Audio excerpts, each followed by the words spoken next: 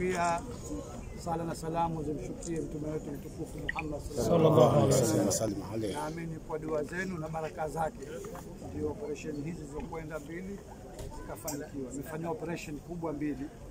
Kwanza nilifanya operesheni ya mguu ambayo ilichukua takriban masaa matatu na nusu na limetiwa skru nne kwenye mguu, mbili kwenye kisigino na mbili kwa mbele, na zilikuwepo pia nyufa nyingine kwenye mifupa mbalimbali, kwa sababu jumla zilikuwa fractures tano lakini mwingine wanaziachia akiamini kwamba itafunga zenyewe kabisa.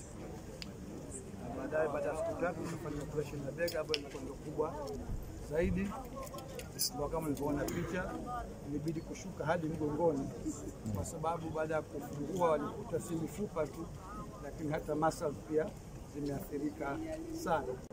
Kawaida kama nilivyosema, huwa wanasema wakipasua mnakuwa mnapata njia UMASA masa sehemu mbalimbali, tafuta njia ya kupasua. Madaktari wenyewe wanajua hao kufikia mfumo.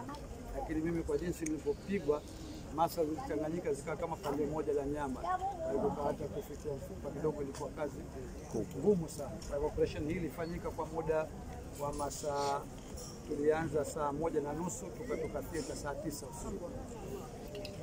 Ilikuwa operation kubwa, lakini nashukuru imefanyika kwa mafanikio, na hapo huku pia nimetiwa skuru mbili kuunganisha hasa ile sehemu ambapo mifupa ule unaotoka kwenye bega na kwenye mkono ambapo ilikuwa imeachana kabisa, kwa hivyo iliunganishwa. Sehemu nyingine pia zilikuwa na fractures nyingi nazo.